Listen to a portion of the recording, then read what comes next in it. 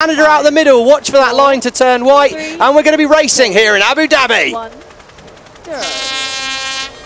Oh, it's New Zealand. Brilliant acceleration from the Kiwis. They've jumped off that start line. Denmark at the top of the line. Nathan said he'd been working on his starting.